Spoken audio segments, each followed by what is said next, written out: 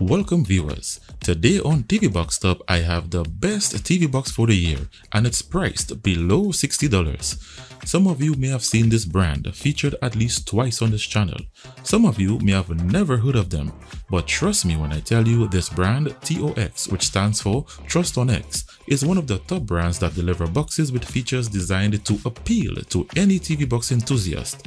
This is their latest release called the TOX3, running on the Amlogic S905X4 chipset with unique features never seen in top brands such as Ugoos, A95X and Beelink.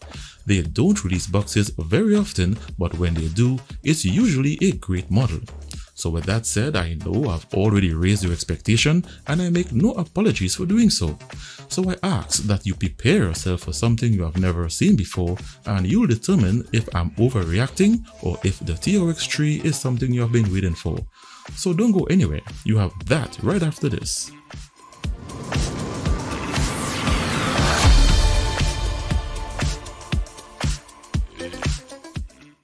So I'm back and let's get started. The TOX3 comes in two versions, a 4GB 32GB model and a TOX3 Lite version which is their 2GB 16GB model. Both models have the same features. So first I have the usual stuff. In the box you get the box itself, one infrared remote, one HDMI cable, a 5V power adapter, an external antenna, and a user manual. So the design of their box has not changed with an all plastic design well ventilated to the top with the TOX branding.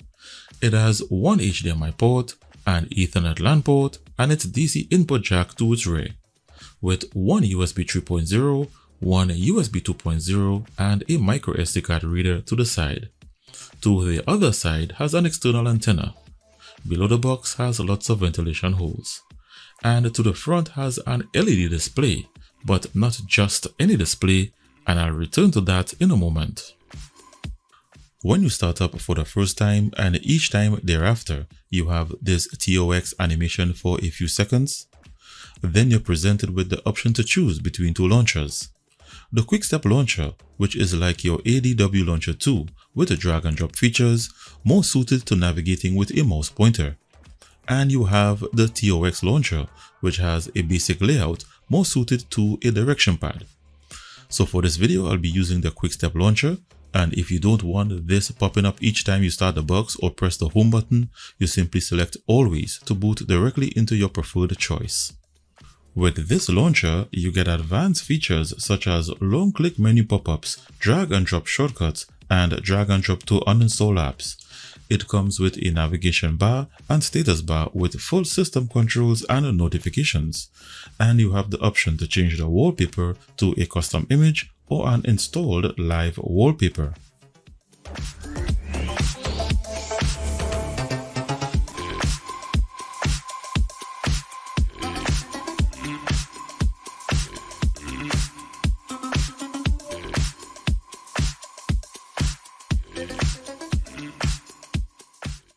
So as mentioned, this firmware comes with features never seen in other top models and some of these will surprise you. Starting with 4K display up to 2160p at 60Hz and this is true 60Hz 12-bit as detected by my capture card. It has HDR display with an adaptive HDR feature. This comes in handy and makes it compatible with HDR and non-HDR TVs. There is a unique feature called Lock UI Size. What this does is set the viewpoint of the launcher to the actual size of your selected resolution. So this is how it looks in 4K as that's the resolution I selected. This feature comes in very useful with YouTube that always has a viewpoint of 1080p on TV boxes even though you select 4K. So this sets the viewpoint to 4K as I'll demonstrate in just a moment you have 10-bit and 12-bit color display modes. It has built-in screen rotation to portrait mode, reverse portrait, and reverse landscape. This feature comes in handy with vertical monitors for advertising and projectors when mounted to a ceiling. You have advanced auto frame rate switching options. advanced surround sound audio options. It has a root switch by way of the Magisk application. Advanced mouse pointer options. This is one of those features you don't usually see. A feature to control the navigation bar and status bar. This is to switch them on or off. What's missing is an auto hide feature. A button mapper feature. To date, I have never used this feature because it does not function like my favorite gamepad key mapping app that I use to emulate touchscreen functions during gaming. It comes in 54 various languages. It has client server and Samba server feature. It has a built-in hardware monitor for the status bar. You can now access the speed of the launcher's animation without entering the developer options. This can make the interface respond very quickly if you're that type of user. And I saved the best features for last. Under Power, you have a couple of features never seen before. The first is a feature to control the power LED indicator. With this feature, you can set the LED to flash in response to CPU activity or keystrokes, or you can simply turn it off or always on. The next feature, and this is the one I like the most, is the ability to display hardware monitor options on the front LED display. With this feature, you can create a loop consisting of CPU temperature, CPU frequency, your current resolution, and you can also adjust the speed of the loop. You can also choose to display each of these monitors individually. This can come in extremely handy when monitoring for overheating. Another feature I like is the ability to change the CPU scaling governor from scheduled or on demand to performance mode with this switch. What this does is sets all cores of the CPU to their maximum performance. To achieve this on other models, you needed an app called Kernel Auditor that only works if the box was rooted. Now you have it with the flick of a switch. And you have power key definition options among other options. So this right here is what you call effort on the part of the developer of this firmware. So now that we have seen all these amazing unique features, I'll now move on to what you can actually do on this box. So in the apps section, these are what come pre-installed with the exception of the live wallpaper that I installed so I'll install some additional apps needed for this review. So I'm back and let's first start with its system and hardware information. So this model runs on 4GB of DDR4 RAM and 32GB of internal storage. The manufacturer, as we already know, is TOX and its Bluetooth version is 4.2. Its Amlogic S905X4 CPU is a quad-core Cortex A55 model with a CPU clock speed of 2.0 GHz configured in 32-bit mode. This means it can only run 32-bit apps and games. And as mentioned under the power settings, its scaling governor is currently set to schedule, which limits its frequency to some degree. And if I want maximum performance, I simply head over to the settings area under power and enable the max performance mode switch. Here it now shows the governor is set to performance. Its display and graphics are powered by the Mali G31 GPU with OpenGL version 3.2, which is great for gaming. For Wi-Fi, it has dual band 2.4 plus 5 GHz wireless connectivity. Its operating system is Android 11 and it shows that the box is currently not rooted, but it does have a root switch and I'll show you how to use it in a moment. If you look under devices, it shows that its GPU has Vulkan version 1.1 support, which is another great feature for gaming. Its idle operating temperature is around 52 degrees Celsius, and with its CPU clocked at 2.0 GHz, it can get as high as 70 degrees during gaming, so some additional cooling may be required to prevent overheating. For playing videos, it comes with all the decoders for the playback of HD and 4K HDR Dolby Vision videos, and it also supports the HLG HDR format, which is a higher HDR standard. For audio, it comes with all the surround sound audio decoders such as DTS HD, EAC3 for Dolby Atmos, and the new AV1 decoder. And that's its system and hardware information. Returning now to its root access feature. Out of the box, the TOX3 comes not rooted, and while this may be great for some apps, there are others that are unique to TV boxes that require root access. So to gain access, simply head over to the settings area under the super user option. Enable the Magisk switch and restart the box. Once restarted, you will now find a Magisk application in the app section. Open it to install Magisk and it will reboot one more time. Once it reboots, you will now have root access. For DRM, it shows that it has Google Widevine Level 3 with no HDCP protection. This means the box is not fully Google certified and it does not have the digital rights to play paid subscriptions such as Netflix, Disney Plus and Amazon Prime Video in HD or 4K. You will get basic 480p resolution only even if you are paying for a premium account. Returning now to the feature that unlocks the viewpoint of the launcher.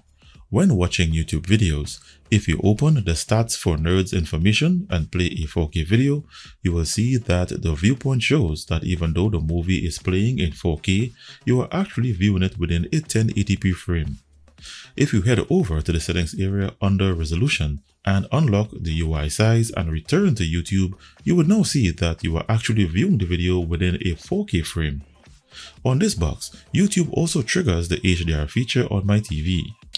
For screen mirroring and casting your mobile devices, it comes with the official version of Miracast, but unfortunately, when I attempted to cast my mobile phone, the official Miracast feature does not connect. So I had to resort to the AirScreen app that can only mirror your mobile device in 480p resolution on this box.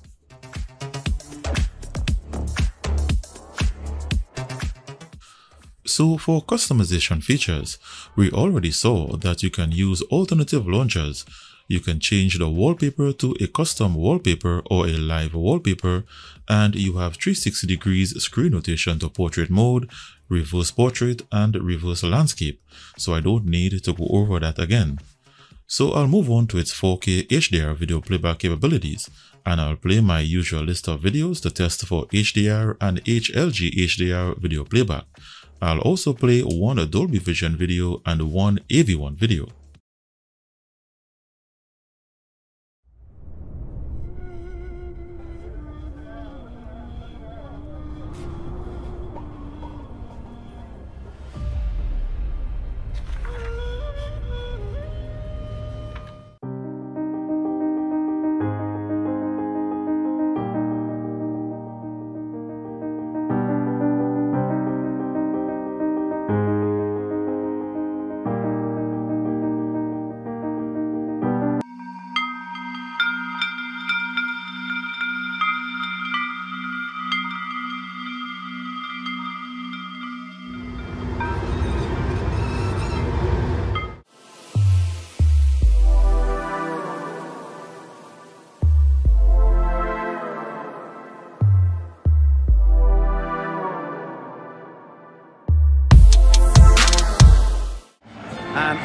A win for Barca would be enough because it would give them the same number of points as Atletico, but the head-to-head -head goal difference is what counts in the case of a tie on points. The mosaic of the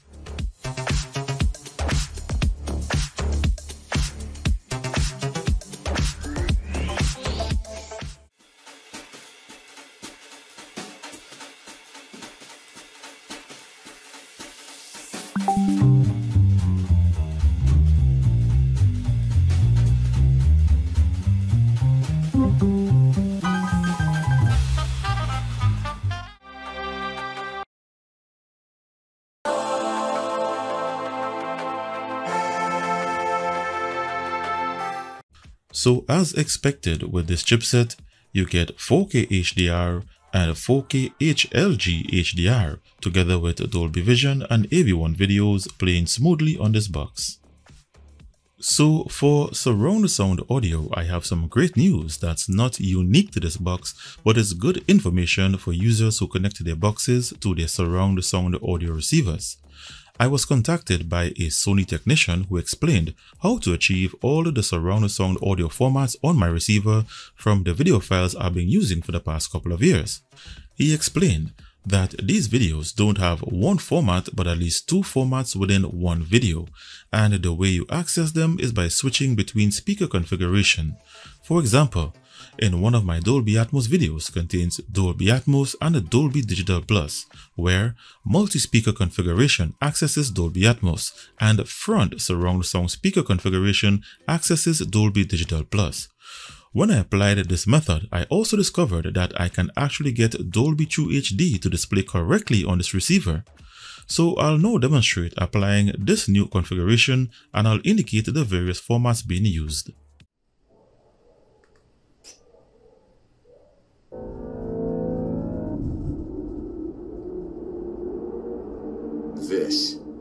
Is Dolby Atmos. So this first video contains Dolby Atmos under multi-speaker configuration and when I switch to front surround speaker configuration it switches to Dolby Digital Plus. Around you with pinpoint accuracy.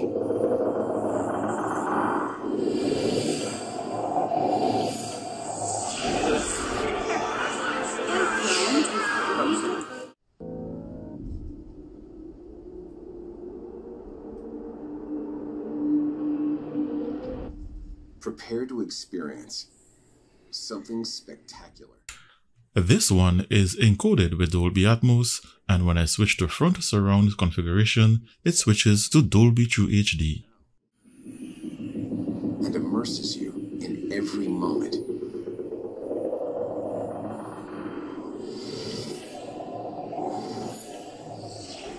This video is encoded with DTS HD Master Audio.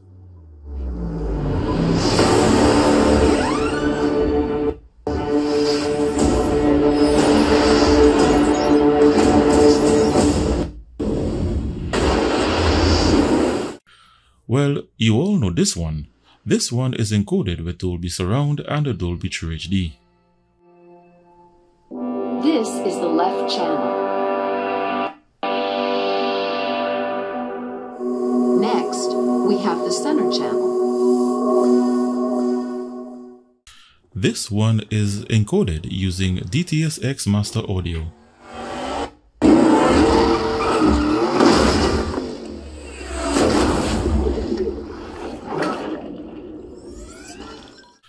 This one with Dolby Surround and Dolby Digital.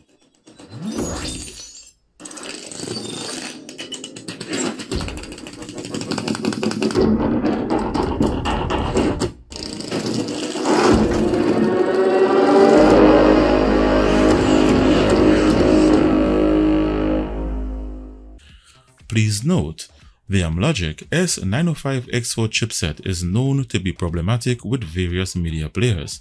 After hours of testing, the only media player that can deliver these formats like you see in this demonstration is the Kodi media player, with its settings set to expert, audio channels set to 7.1, and with audio pass-through enabled, along with all Dolby and DTS audio options enabled. All other media players failed in one area or the other.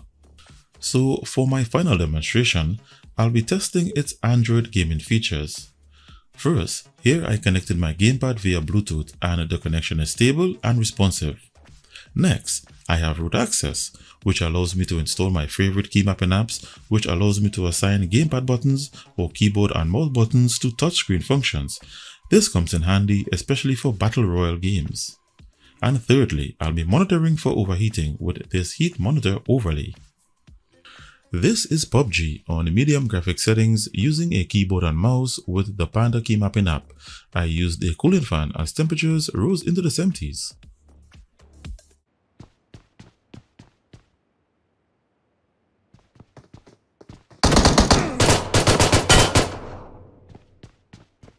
This game is called Crossout and I'm also using a keyboard and mouse with key mapping.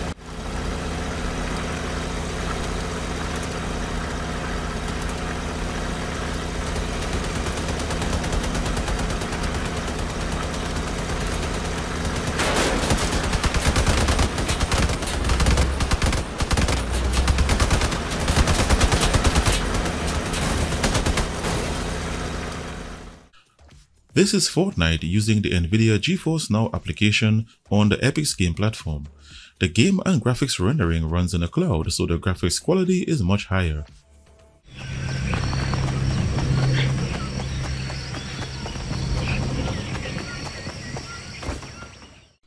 And here is some more gameplay, Destiny 2 on the Steam platform via the NVIDIA GeForce Now application.